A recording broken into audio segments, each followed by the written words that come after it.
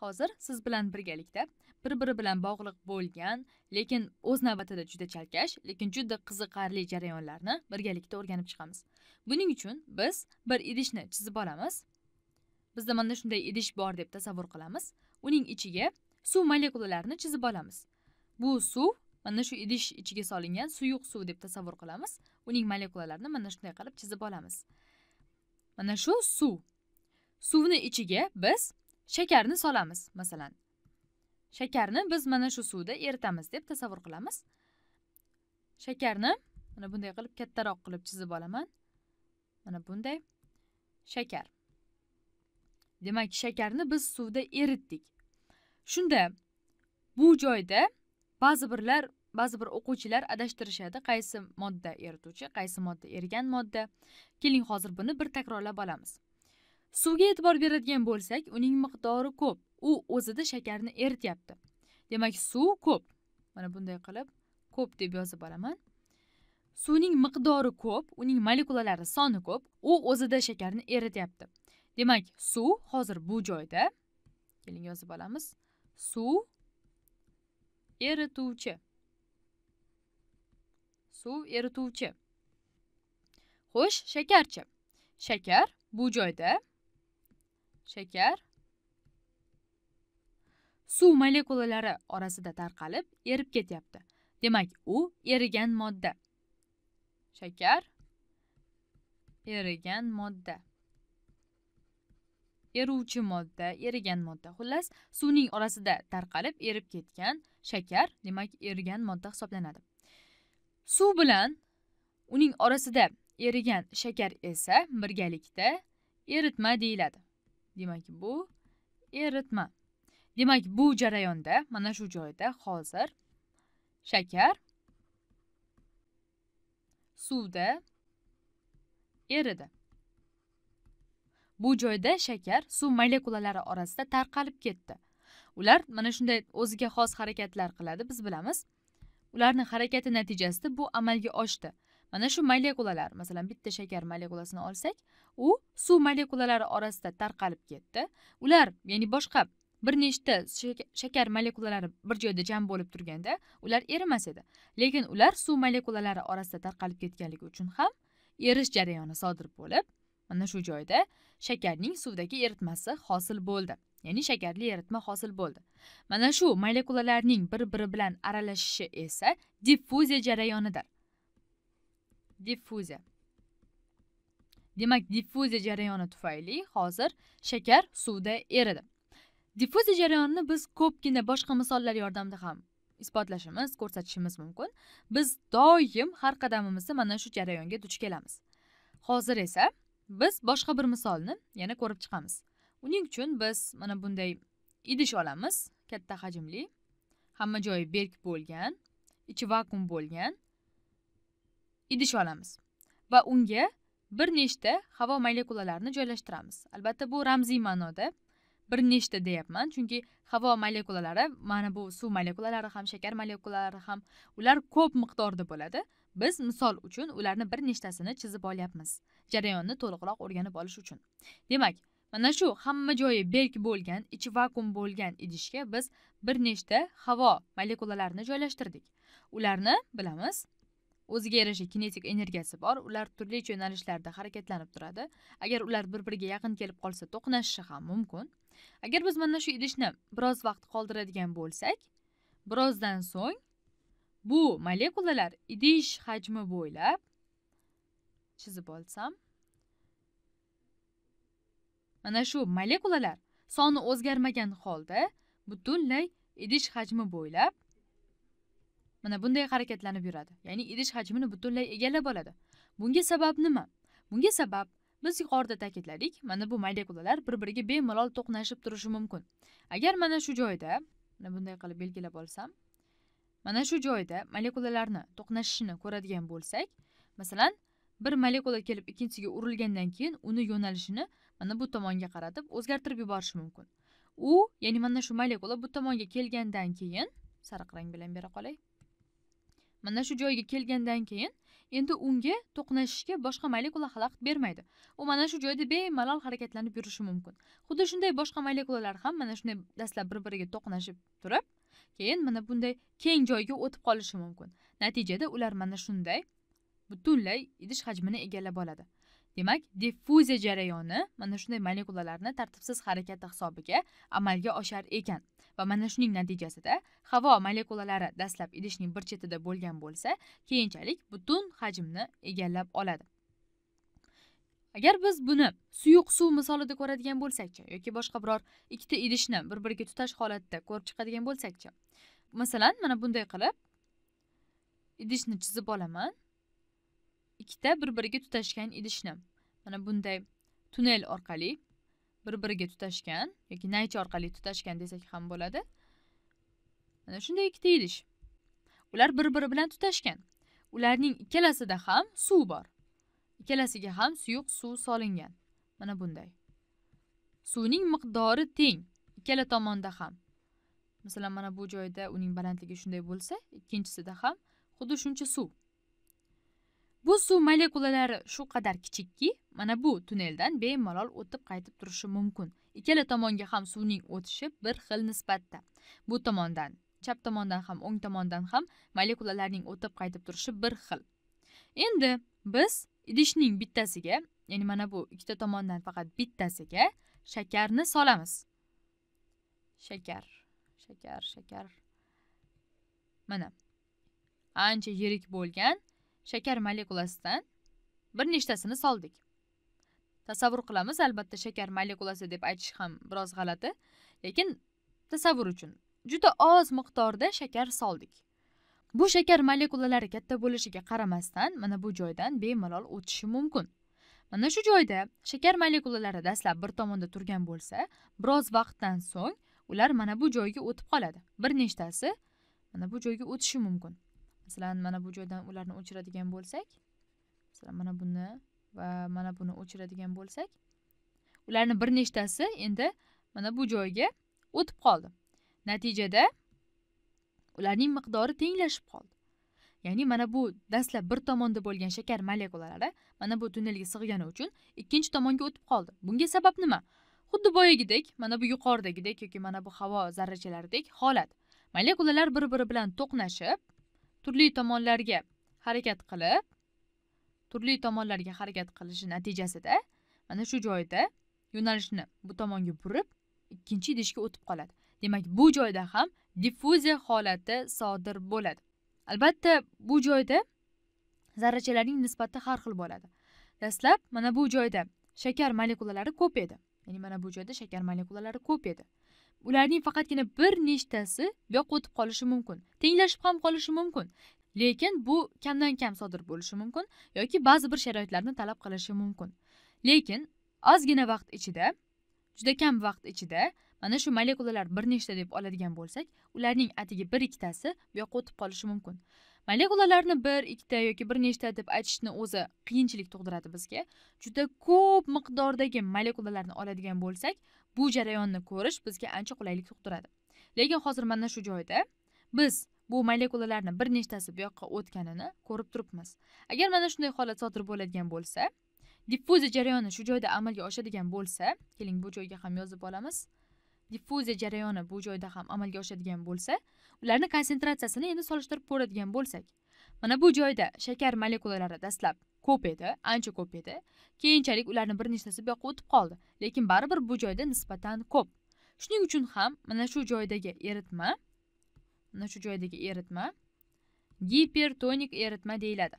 Gipertonik eritma. Giper degan old qo'shimcha ko'p degan ma'noni bildiradi. Demak bu joyda shakarning konsentratsiyasi yuqori. Mana bu joyda esa konsentratsiya kam. Konsentratsiya kamligi uchun keling birinchi kam konsentratsiya deb yozib olaman. Kam konsentratsiya endi bu eritma. Endi bu eritma. Gipotonik eritma. Gipotonik eritma. Gipo old qo'shimchasi kam degan ma'noni bildiradi. Demak kam konsentratsiyali eritma gipotonik eritma deyiladi. Yuqori konsentratsiyali eritma esa keling mana bu joyga ham yuqori konsentratsiya deb yozib qo'yaman. Demak yuqori konsentratsiyali eritmalar esa gipertonik eritma deyiladi. Yuqori konsentratsiya. Demak diffuziya jarayonida mana shunday molekulalar bir biri bilan tartibsiz harakatlanib butunlay idish hajmini egallab olishi mumkin yo'nalishini o'zgartirishi mumkin holatini joyini o'zgartirishi mumkin. Hozir mana shu joyda agar biz idishni xuddi shundayligicha qoldiradigan bo'lsak va biroz vaqt yana kutadigan bo'lsak bu konsentratsiya tenglashib qolishi mumkin. Mana bu idish bilan ikkinchi idishning konsentratsiyasi ya'ni ulardagi shakar zarrachalarining soni tenglashib qoladi. Konsentratsiya deganda zarrachalar sonini nazarda tutyapman. Ya'ni bir qismda yoki qanchadir yuzada qanchadir hajmda zarrachalarning soni qancha bo'lishi konsentratsiya bilan ifodalanadi. Mana bu joyda zarrachalar ko'p demak mana shu joyda eritmaning konsentratsiyasi yuqori. Mana bu joyda shakar zarrachalarining e, soni kam demak bu joyda eritmaning konsentratsiyasi kam.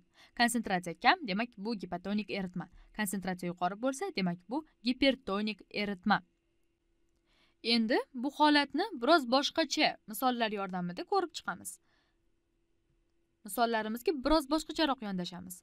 Endi bu joyda suv molekulalarini yana tasvirlab olamiz. Mana bunday qilib suv molekulalarini chizib oladigan bo'lsak idishda emas shunchaki ochiq joyda deb tasavvur qilamiz. Chegaralab ko'rsatmayapman shunchaki. Endi shu joyda uni orasida membrana bor desak yarim o'tkazuvchan membrana. Mana bunday qilib chegaralab olsam mana shu joyda membrana bor. Yarim o'tkazuvchan membrana deb yozib olaman. Yarim o'tkazuvchan membrana. Nega yarim o'tkazuvchan? Nega membrana? Membrana bu to'siq. Lekin uning yarim o'tkazuvchanligi shundaki u ba'zi bir moddalarni mana shu membrana orqali o'tib qaytib turishiga imkon yaratadi. U orqali bemalol suv molekulalari harakatlanib turishi mumkin. Masalan membranadan tashqariga yoki membranaga membranadan ichkari tomonga suv molekulalari bemalol o'tib qaytib tura oladi. Lekin ba'zi bir molekulalarni bu membrana o'tishiga umuman yo'l qo'ymaydi. Shuning uchun ham u yarim o'tkazuvchan membrana deyiladi. Endi biz mana shu joyda eritmani tasvirlasak masalan mana shu joyda tashqaridagi suvga ham ichkaridagi suvga ham qanchadir miqdorda shakarni soladigan bo'lsak shakarni eritadigan bo'lsak. Lekin mana bu tashqarida shakarning konsentratsiyasi kam bo'lsin ichkarida esa shakarning konsentratsiyasi yuqori bo'lsin ya'ni uning zarrachalari ko'p bo'lsin. Albatta membrana ichida ham suvni tasvirlashim kerak. Mana bunday qilib bir qancha suv molekulalari mavjud. Demak mana bu tashqaridagi eritma tashqaridagi eritma gipotonik gipotonik ichkaridagi eritma esa gipertonik. Xo'sh nega bunday bo'lyapti? Bunga sabab mana bu shakar molekulalari membranadan tashqariga chiqib keta olmaydi. Ular membrana ichida bemalol harakatlanishi mumkin lekin membranadan tashqariga ularga joy yo'q. Membranadan tashqaridagi shakar molekulalari ham xuddi shunday. Membranadan tashqari qismda tashqaridagi qismda ular bemalol harakatlanib yura oladi lekin ular membranadan ichkariga kira olmaydi. Lekin suv molekulalari bemalol harakatlanishi mumkin. Hozir shu joyda yozib olsak demak suv suv o'ta oladi. Membranadan o'ta oladi. Shakar esa yo'q. Shakar o'ta olmaydi. Bunga sabab nima? Keling mana shu membranani tuzilishini yaqinlashtirib kattalashtirib ko'ramiz. Membranani mana shu kichik bo'lagini yaqinlashtirsak masalan mana shu joyda yaqinlashtirib katta qilib chizib oladigan bo'lsam uning ko'rinishi taxminan mana bunday bo'ladi. Orasida bir qancha teshiklari bo'lgan membrana. Bu teshiklar orqali suv molekulalari bemalol harakatlana oladi. Masalan kattalashtirib ko'rsatadigan bo'lsak bu tasvirni suv molekulalari taxminan mana shunday o'lchamlarda bo'ladigan bo'lsa ko'ryapsizki ular bemalol mana bu teshiklardan o'tib keta olish xususiyatiga ega sababi ularning o'lchami bunga imkon beradi. Endi biz shakar molekulalarini ko'radigan bo'lsakchi masalan mana bu keling birinchi yozib olaman. Bu membrananing ichki qismi. Bu esa tashqi qismi. Membrananing ichki qismi gipertonik. Gipertonik. Membrananing tashqarisi esa gipotonik. Demak shakarning konsentratsiyasi mana bu tashqarida kam ichkarida esa ko'p. Lekin bu holat hozir o'zgaradimi yo'qmi? Buni ko'rib chiqamiz. Demak mana shu joyda shakar molekulalarini tasvirlashimiz kerak. Demak membrananing ichida ular ko'p ularni katta qilib chizib olaman. Sababi ular mana bu teshikdan o'ta olmaydigan darajada yirik. Mana bunday qilib chizib olaman va tashqarigi qismda tashqari qismda mana bunday. Tashqarida mana bunday. Bir nechta. Bular ko'p. Mana bunday. Bu joyda shakar molekulalari tashqariga chiqib keta olmaydi. Lekin mana shu shakar molekulalari suv molekulalarini ham tashqariga chiqib ketishiga xalaqit berishi mumkin. Qanday qilib? Masalan bitta shakar molekulasi kelib turib mana bu joyni bekitib qo'yishi mumkin. Mana bunday qilib yopib qo'yishi mumkin. Natijada suv molekulasining tashqariga chiqishiga yo'l qolmaydi. Lekin tashqaridagi suv molekulasi mana bu joydan ichkariga kirib ketishi mumkin bo'ladi. Bundan tashqari mana shu shakar molekulasi kelib mana shu to'siqqa urilib zarba orqali yana qaytishi natijasida u mana bu suv molekulasiga suv molekulasiga urilib yo'nalishini o'zgartirib yuborishi mumkin. Natijada suv molekulasi yana tashqariga chiqmay qolyapti. Umuman olganda mana shu shakar molekulalari suv molekulalarining chiqishini ancha kamaytiryapti. Lekin suv molekulalari bemalol tashqaridan ichkariga kiryapti. Natijada suvning diffuziyasi sodir bo'lyapti. Shakar molekulalarida esa diffuziya jarayoni sodir bo'lmayapti. Tasvirlaydigan bo'lsak mana bu shakar suv molekulalari bemalol kiradi. Tashqaridan kirishi mumkin ular lekin ichkaridagi suv molekulalarining chiqishi nisbatan qiyin. Masalan mana bu joyda u chiqa olmaydi. Mana shunday holat hisobiga tashqaridan ya'ni mana bu tashqaridan ichkariga qanchadir miqdorda suv kirishi kuzatiladi. Buning natijasida esa suvning diffuziyasi amalga oshyapti. Lekin shu bilan birga mana shu joyda membrana ichida eritma gipertonikligicha ya'ni konsentratsiyasi yuqoriligicha qolyapti. Tashqarida esa eritma hali hanuz gipotonik eritma. Bunga sabab suv molekulalari endi faqatgina membrana orqali o'ta oladi. Mana bu shakar molekulalari o'ta olmaydi. Endi buning natijasida mana shu suv molekulalari ikkala tomonda ham konsentratsiyani tenglashtirishga harakat qiladi. Bu joyda konsentratsiya yuqori bo'lsa mana shu joydagi konsentratsiyani tushirishga harakat qiladi. Mana shuning natijasida faqatgina suv molekulalarining harakati kuzatiladi. Suv molekulalarining diffuziyasi kuzatiladi. Mana shu jarayonning nomi osmos hodisasidir. Osmos. Osmos hodisasi demak suv molekulalarini mana shu eritmani konsentratsiyasini tushirishga yoki tenglashtirishga harakatini o'z ichiga oladi. Ya'ni yarim o'tkazuvchan membrana orqali suv molekulalari ikkala tomonga o'tib ikkala tomondagi konsentratsiyani tenglashtirishga harakat qilishi osmos hodisasidir. Demak osmos hodisasi ham diffuziya hodisasi ham o'zaro bog'liq. Ular molekulalarni hajm bo'ylab yoki ma'lum bir yuza bo'ylab bir tekis harakatlanishini bir tekis harakatlanishga bir tekis tarqalishga intilishini o'z ichiga oladi. Diffuziya va osmos jarayonlarining bog'liqligi shundaki mana bu osmos jarayonida ham suv molekulalarining diffuziyasi amalga oshyapti. Albatta shakar molekulalari bu joyda aralashmayotgan diffuziyalanmayotgan bo'lishi mumkin lekin suv molekulalarining diffuziyasi kuzatilyapti. Demak shu orqali ham diffuziya va osmos hodisalari bir biri bilan bog'liqdir. Bu jarayonlar esa bizni tanamizda bizni atrofimizda hayotiy hamma jarayonlarda doimiy ravishda amalga oshib turadi va ular bizni koinotimizdagi hamma jarayonlarni amalga oshishida muhim ahamiyatga ega.